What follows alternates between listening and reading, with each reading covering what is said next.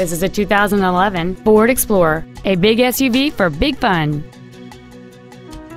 Its top features include a remote start feature, power adjustable driver pedals, a low tire pressure indicator, traction control and stability control systems, aluminum wheels, and a backup camera.